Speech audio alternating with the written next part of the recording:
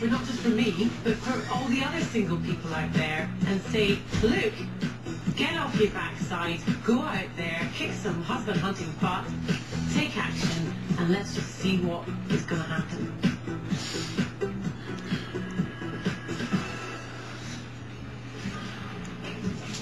Sixty pounds worth of groceries for one night.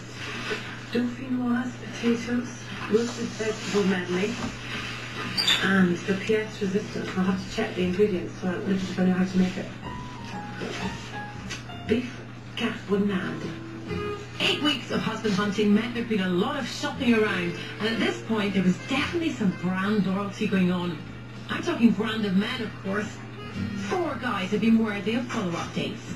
Adam the actor, Kevin the portrait painter, Paul who runs my local bar, and Gary the property tycoon who does a bit of TV on the side. At the start of week nine, one of the top four was invited round to dine at nine. I've got 20 minutes to cook the meal, get ready, and look attractive and light all the candles. Um, do you not remember appeals? We've done that already. Baking tray, 30 minutes at a reasonable temperature, have two minutes. Yes, so strategy number 47 was to put myself on the line a bit and cook dinner for a potential husband.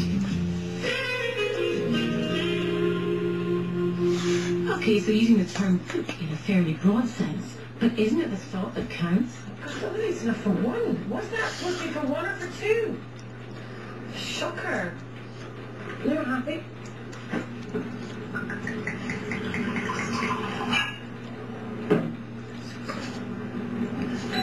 Mm.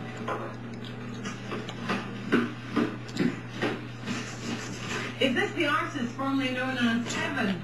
Hello. Good evening. On the guest list. Yes, Okay. it's just dinner for two, I'm afraid. Come in. Well, I'm fine. See. Welcome back. Yes, my guest for the evening was Mr. Sparky Bouncer himself, Kevin, who, if you remember, hadn't earned himself any husband points by standing me up at the 11th hour for a karaoke date some weeks back.